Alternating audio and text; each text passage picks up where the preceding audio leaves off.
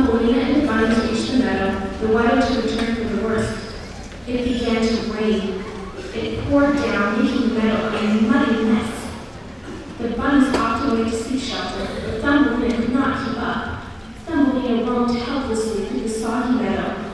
Just then, a spider crossed her path. Thumbelina shook with fear. She had a terrible fear of spiders. Her mother had warned her about them. The spider soothed. It's okay, little girl. I am not going to hurt you.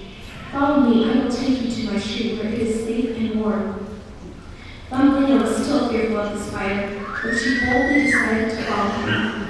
She figured that taking a chance had worked many times on her adventure, so what was one more?